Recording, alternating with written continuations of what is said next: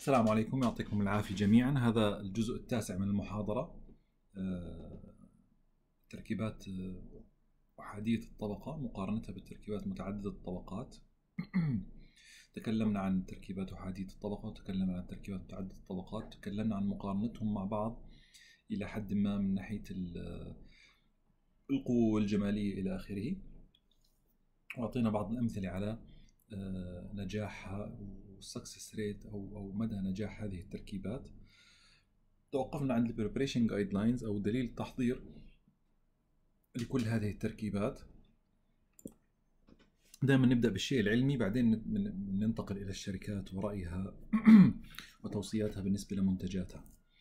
فإحنا عندنا Spear Education وضع هذا الاكزام Spear Education من أكبر خلينا نحكي الهيئات التعليمية وهي تعت- تعتبر key opinion leader يعني في موضوع آه، الإطباق وال occlusion والتحضير وال principles of occlusion إلى آخره.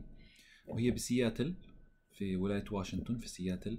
واشنطن يعني مش واشنطن الولاية مش واشنطن دي سي العاصمة. على كل حال ويعني يؤخذ برأيها في كثير من الأمور. فوضعت example أو أو مثال جميل جدا لموضوع تحضير ال preparation guidelines وكانت تتكلم فيه عن التحضير توصيات القواعد الإرشادية لأكاديمية Spear's للتحضير.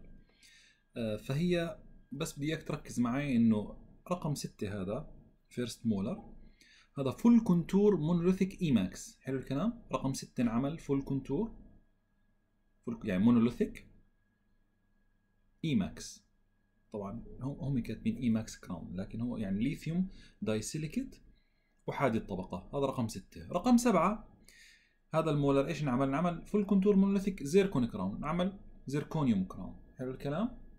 برضو أحادي الطبقة. طيب بدهم يشوفوا هسه هم شو التوصيات. آه شوف خليني أنا أكلكهم كلهم وأعطيك النتيجة النهائية عشان أريحك. lithium disilicate مصمت هاي التوصيات. إطباقي يكون عندك أنت. يكون عندك الإطباقي في الليثيوم طبعا كل الكلام عن ال posterior صح؟ إحنا بنحكي عن 2 molars حلو الكلام؟ 2 molars ماشي. فبالنسبة عندك للرحى الخلفية إذا أنت عملت full الكلام هون بس عن ال monolithic. رقم 6 monolithic lithium disilicate رقم 7 monolithic zirconia رقم 6 الم- اللي هو lithium disilicate مصمت. شوف شو التوصيات. إطباقي بدك من 1.5 ل 2 ملم سمك جدار التركيبة اللي هو wall thickness بدك 1 ملم الحدبات أو ال cusp بالذات 1.5 ملم أنا راح أريحك وأحكي لك إنه ال range هون 1.5 ملم تقريبا. حلو؟ فأنت بتحضر هون أقل شيء معطو معطينك إياه في ال lithium disilicate إذا بتطلع ال lithium disilicate أقل شيء معطينك إياه أقل قراءة قديش؟ 1 ملم سمك الجدار. wall thickness فأقل شيء أقل شيء 1 ملم بسمك الجدار. وهذا في تحضير ال lithium disilicate الخلفي ك full monolithic. بالزركونيا القراءات أقل هون 1.5 to 2 ملم هون 1 to 1.5 ملم أقل بنص ملم إطباقي وأقل بنص ملم عند الحدبات. مش عارف ليش فاصلين الحدبات عن الاطباقي على كل حال. الحواف 0.5 ملم gingival chamfer reduction يعني أفضل شيء في حالة المصمت إنه يكون chamfer إذا ما كان ال shoulder إنه يكون chamfer حلو الكلام. طيب هذا في حالة الحواف 0.5 ملم الحدبات 1 ملم برضو أنت بتحكي عن range 1 ملم حلو الكلام. بتحكي عن range 1 ملم ما عدا الحواف 0.5 ملم يعني أنت سواء اخذت lithium disilicate بتحكي عن average average بدك 1.5 ملم ما عدا ال wall thickness يعني لو وصلت ل 1 ملم full press lithium disilicate تنساش أنا بحكي عن monolithic أرجوك لا تنسى. monolithic full press full press أو machined CAD CAM ما عليه بورسلين نهائيا. حلو؟ ف 1 ملم ماشي ل wall thickness حلو الكلام؟ فهم بتحكي لك عن 1 to 1.5 ملم في حالة ال lithium disilicate مصمت. أقل من هيك بنبلش إيش؟ نبعد عن recommendation يعني أنا حضرت لك 0.5 و0.5 كويس وقرأت دراسات إنه 0.5 كفاية. ماشي وأنا راح أحط لك دراسات إنه 0.5 كفاية وراح أعارضها بدراسات أخرى. يعني هي مش مش الموضوع إني أنا وجدت دراسة معينة في اتجاه معين فهي الصحيح. لا أنت بدك تجمع شتات المسألة كلها وتشوف كل الدراسات آه، تعرضها على بعض مش تعارضها ببعض تعرضها على بعض وتشوف شو الأنسب. فأنا الآن معك فقط في موضوع ال Spear أنا معك في موضوع ال ultimate العلم. أفضل شيء أفضل تحضير حلو الكلام؟ وأفضل نتيجة هاي هي. الآن بنحكي لك عن الشركات وعن شو هم كاتبين. فخلي ببالك 1 to 1.5 بال lithium disilicate و1 ملم وأحيانا to 1.5 للزيركون كراون.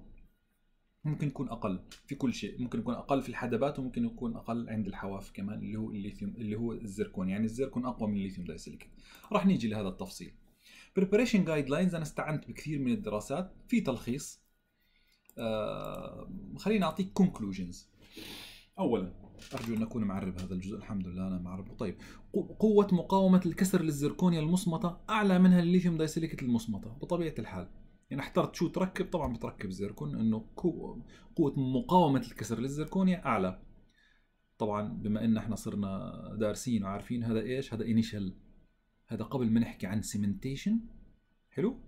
وقبل ما نحكي عن إيش؟ عن شيخوخة اللي تقدم بالعمر بالنسبة للزركونيا في عاملين آخرين. إحنا نحكي بس ك آه، ك material الآن. قوة مقاومة الكسر للزركونيا ك material كتلبيسه initially اليوم أكبر منها من الليثيوم دايسيليكيت حلو الكلام؟ طيب. قوة مقاومة الكسر للزركونيا المصمتة بسماكة 1 ملم تساوي قوة مقاومة الكسر للخزف على هيكل معدني. حلو الكلام؟ يعني إذا أنت أعطيتني 1 ملم لزيركون مصمت فهذا قوي. قوته تضاهي قوة الخزف على هيكل معدني اللي حكينا إنه قوي وبيعيش مدة طويلة. طبعا برجع بحكي لك هذا initial هذا اليوم لما إحنا نعمل cementation اليوم أو عملنا ال test اليوم.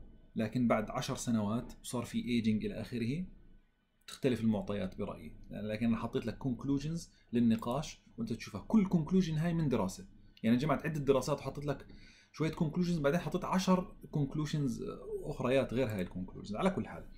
زيادة سماكة الهيكل الداعم في الزركونيا من 0.6 إلى 1.5 ملم يعني تقريبا أنت ضاعفته ضعفين صح؟ بدل ما هو كان نص صار واحد ونص.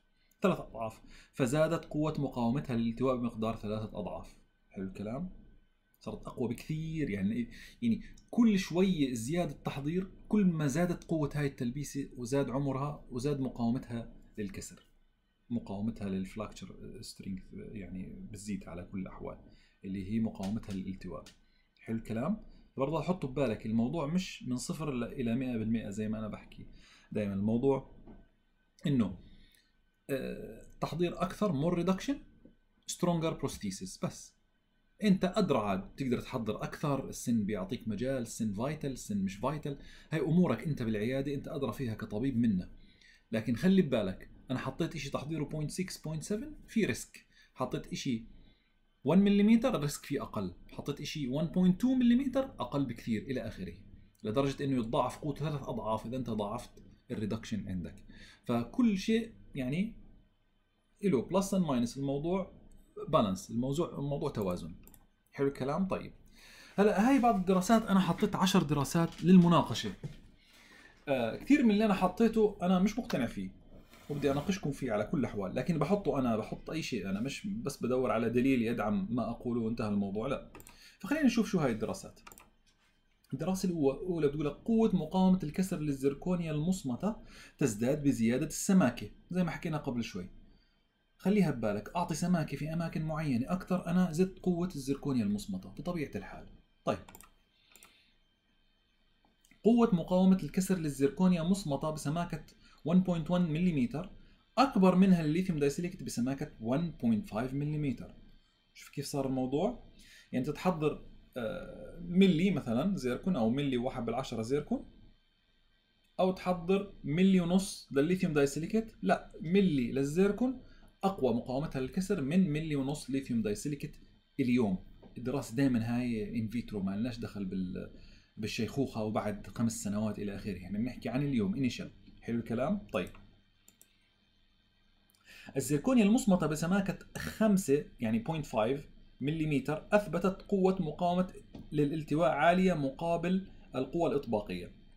هاي من دراستنا حاطة مش مقتنع فيها أنا. لا بدعمها.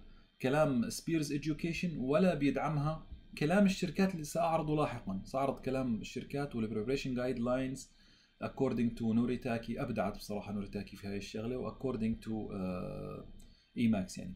آه، لا يدعموا هذا الكلام. 0.5 بعرفش شو قصدهم بمقابل القوة الإطباقية.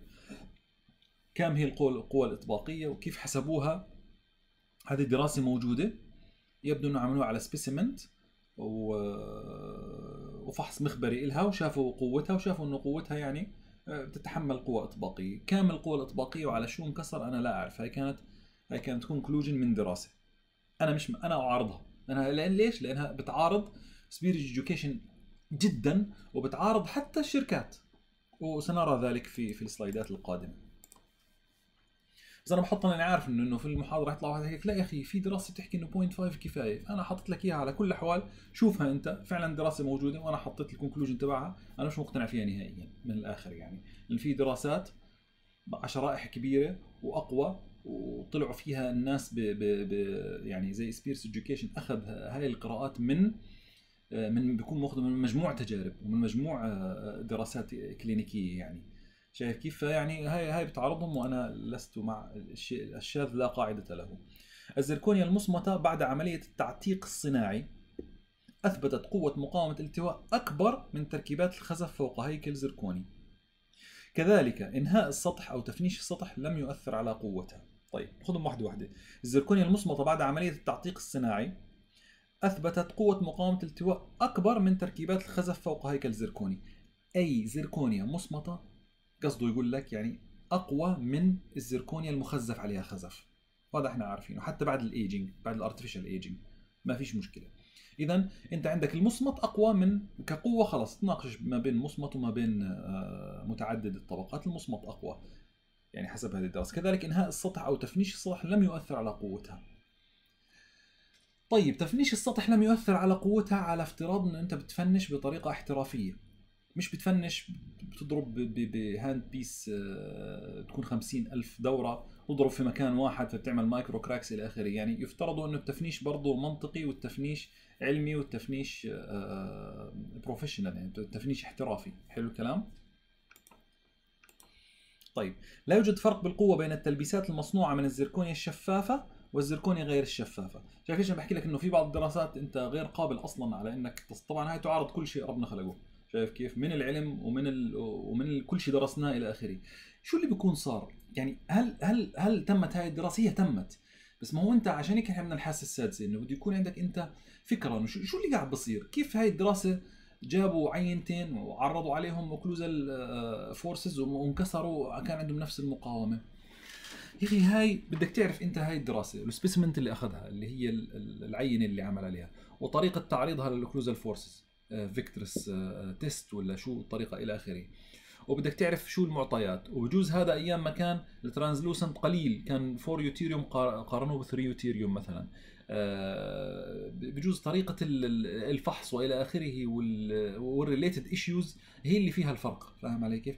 لكن قطعا الشركة المصنع نفسه بقول لك إنه فرق كبير بالقوة. وببلشت إنه هذا قوته 1000 1200 وهذا قوته 650 لا تيجي بتحكي لي؟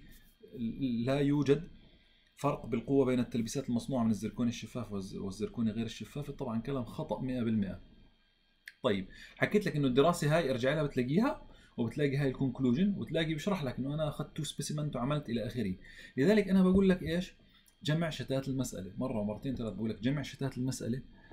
تشوف أنت كل الدراسات أو كل ما تستطيع جمعه من الدراسات حول هذه المسألة وتشوف الكلام العلمي وكلام الشركات وإلى آخره وتقارنه مع بعضه وتستخلص أنت نتيجة. يعني أنت بعدين ما بدكاش أنت المنخنقة والموقوذة والنطيحة و... لا أنت بدك تجمع في النهاية. الشيء المنطقي الشيء ال vector force تبع ال studies where does يعني point شايف كيف؟ يعني أنت مجموع هذه الدراسات إلى أي اتجاه تؤشر وشو ال bulk أو ال range اللي بتعطيك إياه. أما كل واحد يمسك دراسة من من زي ما بقول يمسك الدراسة من ذنبتها يعني. يمسك الدراسة ويقول لك أنا عندي دراسة بتحكي إنه 0.5 آخر إبداع على الزركونيا. وأنا بحضرش أكثر من 0.5 للزركونيا وما بنكسر يا أخي. مين قال لك بنكسر في دراسة إنه ما بنكسر نعم أنت في خصوصا في زماننا هذا في العلم وفي غير العلم. في مجالات كثير في الحياة. ستجد أي دراسة وأي فتوى وأي رأي وأي شيء في العالم بدك إياه ستجد له إيش؟ رأي داعم. لكن هذا الرأي كان راجح أو مرجوح المسألة مختلفة.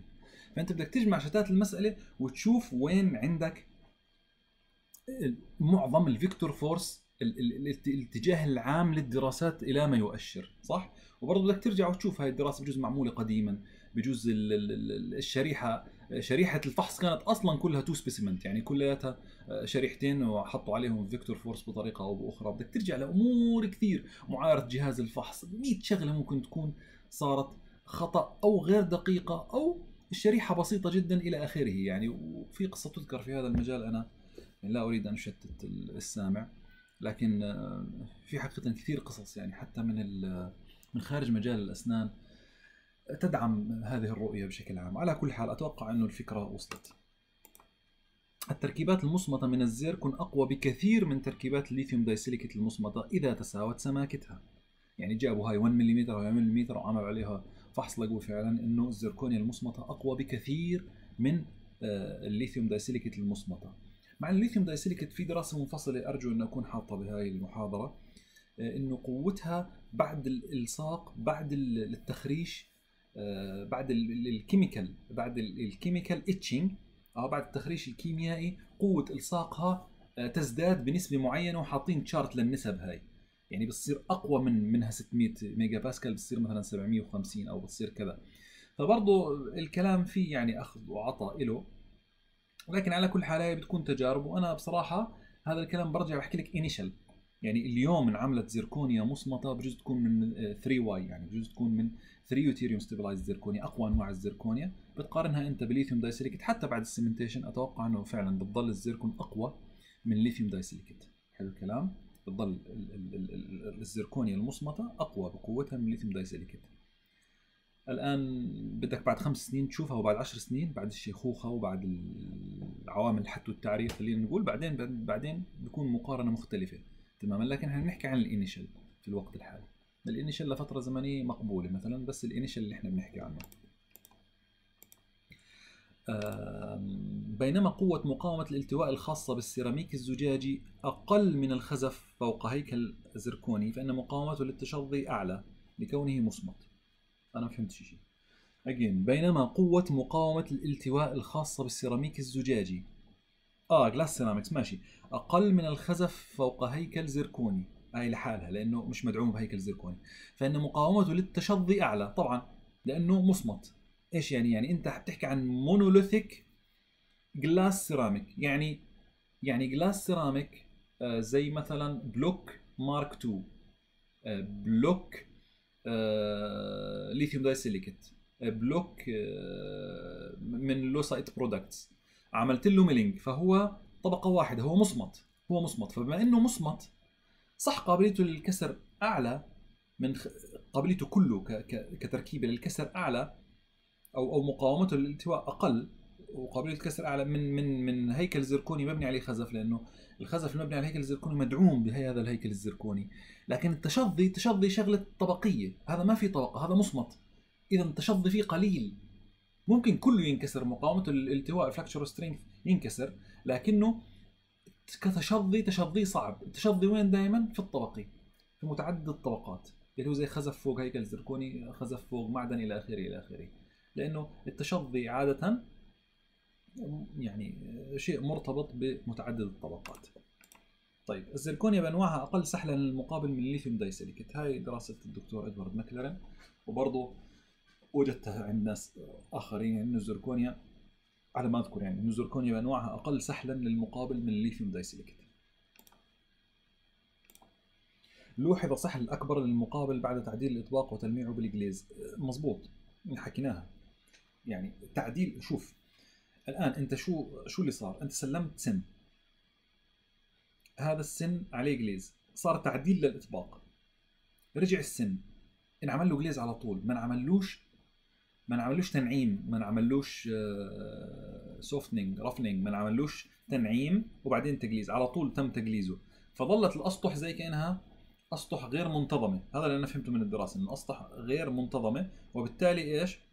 سحل أكبر للمقابل بعد تعديل الإطباق وتلميعه بال glaze شايف كيف؟ الأصل أنا في في رأيي حسب مفهومي لهذه الدراسة إنه كان لازم ينعمل آه، تنعيم كامل لما كان عادة آه، الأطباء بس يشيلوا ال occlusion آه، كثير يعني بيكون invasive يعني مرات. ال burs اللي بيستعملوها ال diamond burs وهذا بتكون بتأكل كثير يعني من من السن. وبالتالي بيرجع لك السن آه، مخدش ومضرب. فأنت ما تجلزه على طول.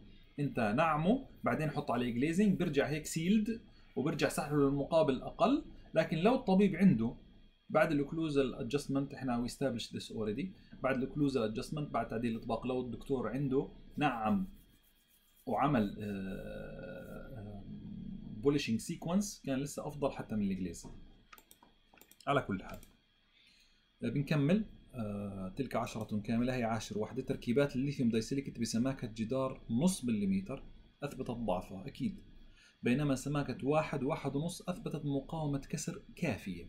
أه هم كاتبين أعتقد sufficient كلمة مستعملين كلمة sufficient صح significant.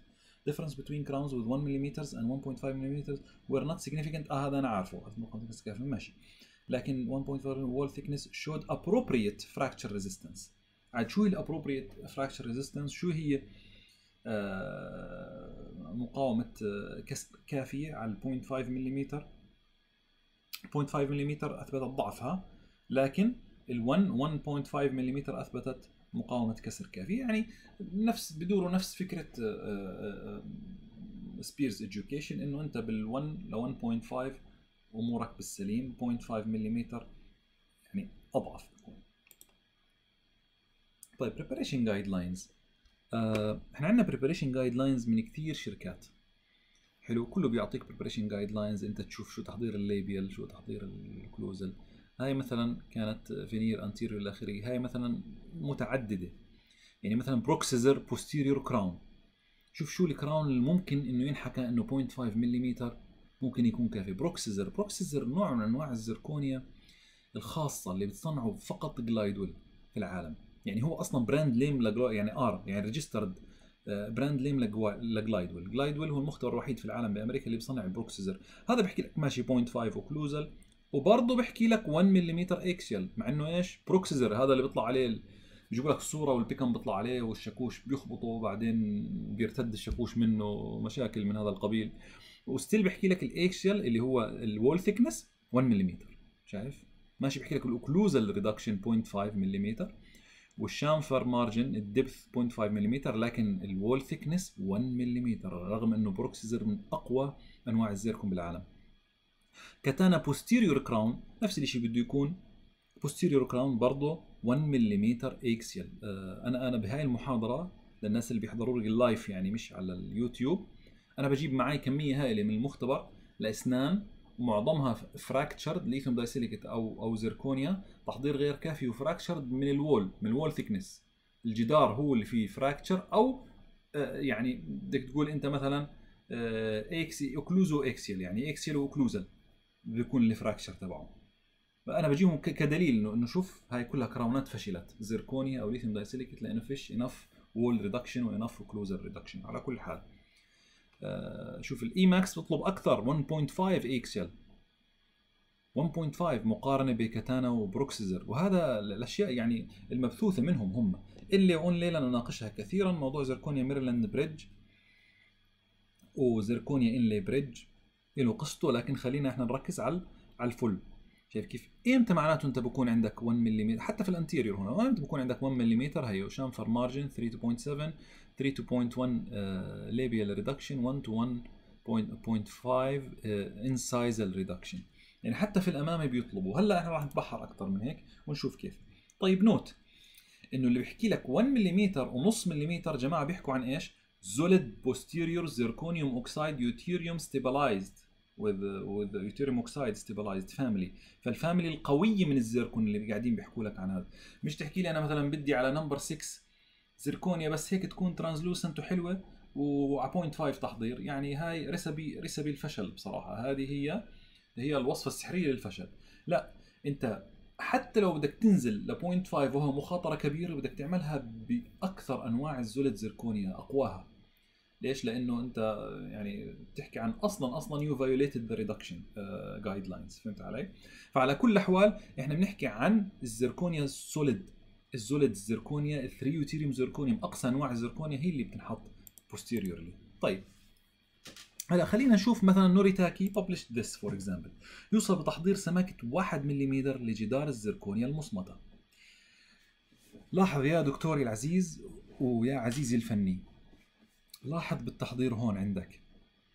حتى في ال anterior crown حاط لك 1 ملم 1.5 ملم 1 ملم هاي المعطية ستختلف لما نحكي عن فينير. واصلا راح نحكي عن ال zirconia veneer و etchable ولا مش etchable. لكن على كل حال هذا المعطى سيعض سيختلف لما نحكي عن فينير. إحنا قاعدين نحكي هسه عن إيش؟ عن crowns. وقاعدين ماخذين إحنا إحنا ناس طيبين وماخذين بال recommendation تبع Noritake شو بتحكي عن 1 ملم all around أو أكثر. برضه 1 ملم all around وأكثر طب هذا إيش؟ preparation for framework ماشي. وهذا preparation for إيش؟ for full contour zirconia ما اختلف شيء. يعني bridge بيقول لك أنت بدك reduction أكثر لأنه bridge بس crown أنا ما بدك reduction أكثر. لا هي الشركة لحالها بتحكي لك. حتى لو كان full contour zirconia crown crown تلبيسة مفردة بدك 1 ملم حلو الكلام؟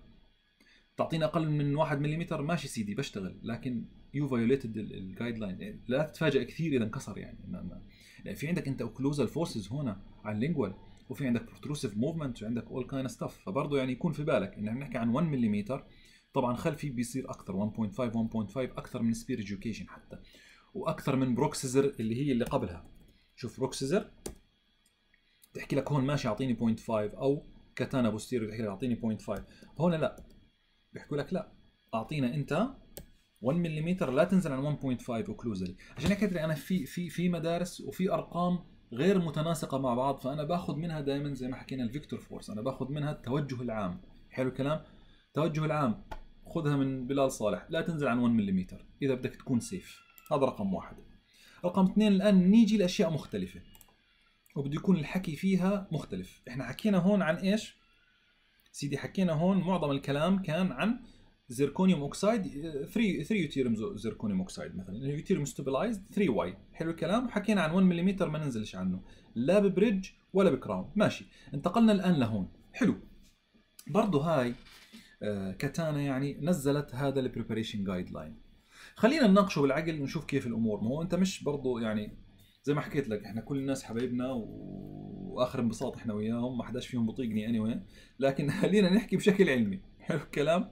خلينا نشوف ونناقش الشيء اللي هم نزلوه. minimum wall thickness of zirconia حلو؟ هم بحكي لك عن ال minimum أصلا طريقة طرحه للموضوع إنه minimum ماشي؟ فهو يحكي لك يعني وأنا معاه إنه minimum هذا أقل شيء. فأنت بدك تنزل عن ال minimum بده يكون عندك risk بده يكون عندك أنت دخلت بالخطر دخلت بالأحمر. ماشي. أوكي. شوف UTM اللي هو ultra translucent multi layer zirconia قديش قوتها أصلا؟ 557 ميجا باسكال لا شيخوخة ولا شيء هذا initial قوتها 550 للسهولة. STM اللي هي super translucent multi layer zirconia 784 حلو؟ 750 احفظ 550 750 رايح راسك. ميجا باسكال of strength طيب. multi layer و high translucent high flexural strength zirconia 1150 ميجا باسكال شوف حتى التسميات شوي أنا بحكي لهم مندوبين الشركات والشباب بيجوا عندنا بس خلص ما هو كل شركة يعني بتنزل لك مثلا high flexural strength zirconia بس إيش اسمها؟ ML يعني multi layer HT يعني high translucent طب ما هو هذا high high translucent واللي فوقه super supreme translucent واللي فوقه ultra translucent أنا نفسي أفهم اللي بينزل بعد هيك شو بدهم يسموه. super supreme خارق للعادة أبو مش عارف مين. اللي يعني ما ضلش في أسماء. ما هو خلص تعطيني translucent و high translucent و non translucent زي المعدن خلينا نرتاح. noble و high noble و non noble. precious و semi precious و non precious بس لا هو الدعايه بتلعب دور إنه super translucent و ultra translucent بتلعب دور.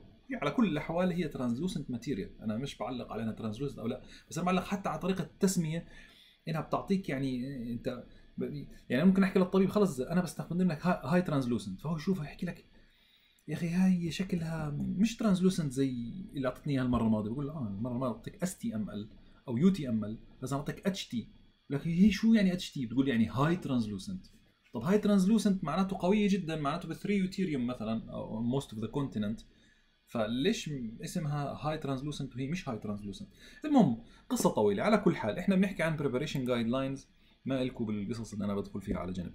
notice the fine line notice هذا لل discussion لاحظ الطباعه بالخط الدقيق. والله بدي ألاحظ أشوف شو الطباعه بالخط الدقيق. Uh, it is crucial to keep a minimum wall thickness for a successful restoration and keep in mind no not including the thickness of build up portion آه هذا هو هذا هو ال fine lines اللي أنا بدور عليه. طيب. طيب أي نوع من الزركونيا يستخدم معملك ما لنا علاقة في الوقت الحالي؟ خلينا نحكي عن هاي الملاحظات. شوف الشركة نفسها شوف الخط الكبير هون anterior crowns veneers posterior crowns inlays onlays يعني اطحن منه اللي بدك إياه. كلام صحيح تقدر تعمل منه milling اللي بدك إياه. لكن شوف بخط أصغر بشكل ملاحظ جدا إذا أنت شايف السهم اللي أنا بحركه. It is crucial to keep a minimum wall thickness يعني دير بالك مهم جدا ما تنزل عن ال minimum wall thickness أصلا هو اسمه minimum يعني أقل حد ممكن تنزل عنه. فلا تنزل أكثر من هيك هاي التوصية. حلو؟ And keep in mind وزغروا لك الطباعة بطلت اشوفها أنا غير بمكبر شو بيحكوا لك؟ نجمه صغيرة جدا جدا جدا. بتقول لك not including the thickness of build up porcelain. يعني هذا الكلام بس للقشرة. بدون ما أنت تعمل layering إذا أنت ناوي دولتك تعمل متعدد طبقات ومفترض إنه هاي ال wall thickness هاي ال wall thickness يا دوب كفاية للقشرة. سواء هاي القشرة حطيت عليها glaze وسلمتها وانتهينا أو بدك تبني عليها. حلو؟ هلأ هاي القشرة مثلا راح نلاقيها في بعض الأماكن مثلا 0.4 مكتوب هون. هسه بنيجي بنناقش الموضوع. ومش راح اسلم لهم ب 0.4 بس خلينا نناقش الموضوع إنه 0.4 فهمنا؟ هذا 0.4 بدون ما تبني أنت اني بورسلين يعني بدك تقبل بلون الزيركون على ما هو عليه. تحكيليش ليش الزيركون شكله مش حيوي شكله ما فيش فيه إنامل شكله مش عارف شو حتى خلص هو بلوك من يو تي إم إل إس تي إم إل إتش تي وات ايفر ات از ماشي بلوك فيه حيوية إلى نسبة معينة. بدك حيوية بورسلين حيوية زجاج حيوية خزف حيوية مواد مفعمة بالسيليكا زي ما حكينا مواد مفعمة. أنا أبني لك إياها هذا كله زيادة عن ال point 4 إذا بنرجع بنحكي إنه فيش شيء حقيقة أقل من 0.5 يعني. ما فيش شيء منطقيا وعلميا بيعطيك نتيجة أقل من 0.5 هذا اللي بحكي لك Lumineer وطلع مش عارف شو جميل جدا إلى آخره. والحالات اللي بتنزل لي 0.2 feldspathic مبنية وآخر انبساط. ماشي ماشي. كله هذا على عيني وراسي. وأنا مصدق وأنا مصدق ال caliper اللي محطوط وكل شيء تمام إلى آخره. لكن بتحكي أنت عن flexural strength يكاد يكون قليل جدا حتى مع ال cementation حتى مع ال etching حتى مع كل شيء. فأنا بدي إياك واعي لهي النقطة بس بعدين أنت اعمل اللي بدك اياه حضر point 1 أنت حر. لكن أنا بدي إياك واعي لهي النقطة وفاهم إيش يعني reduction وإيش يعني إنه أنا شوف حتى الشركة بتكتب لك اياه هي أصلا يعني ليش ليش كتبت؟ ليش خلص اخفت وخلصنا؟ لا بحكي لك عشان ما حداش يجي يلومني أنا كاتب لك بخط لا يمكن قراءته إنه اعمل هيك وهيك. In case of having more than 3 millimeter thickness of prosthesis a higher chroma than indicated shade would appear. برضه هاي يعني مشكلة من المشاكل إنه ال thickness كان عالي كثير أكثر من 3 ملم هاي مشكلة بنواجههاش إحنا. أكثر من 3 ملم بيختلف عندك لأن ال chroma بتصير عالي فبيختلف اللون.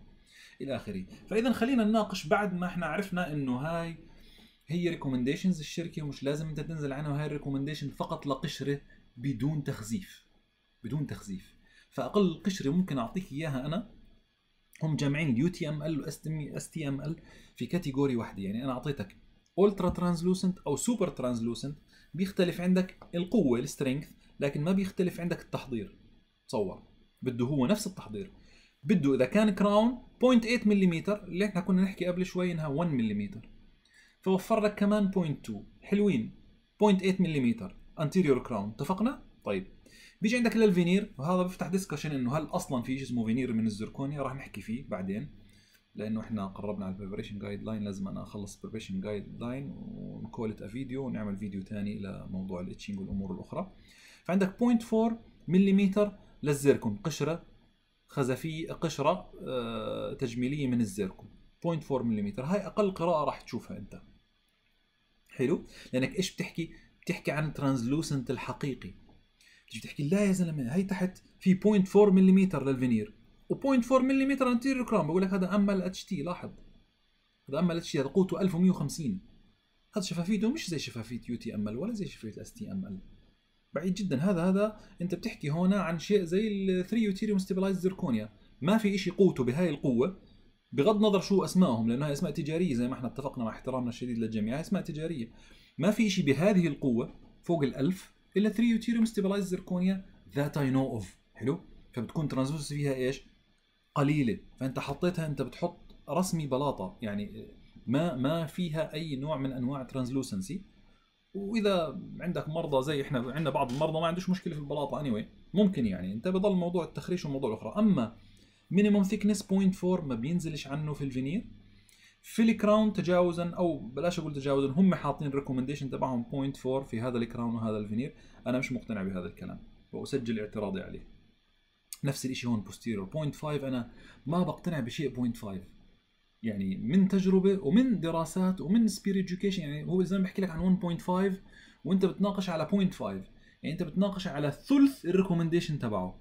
لو أنت بتناقش على 70% من ال recommendation تبعه ها في مجال. عشان هيك أنا حكيت لك الحاسه السادسه مهمه في كل شيء حتى في علاقتك مع البتنجان. المهم فأنت عندك بتناقش في شيء بعيد. أنت بدك تشيل من 1.5 تصل ل 5 أنا أعتقد إنه لسه بدري على prosthesis قادرة على هذا الأداء العظيم اللي هو 0.5 ملم على ال posterior no problems وبدك تشوف دراسات عليها وبده ينعمل هي نفسها هاي المادة. بتنعمل 0.5 تشوف على أي آه على أي force من ال flexure strength بتكسر.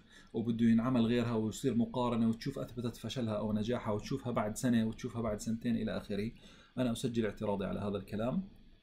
ال 0.5 أنا مش مقتنع فيه posterior نهائيا.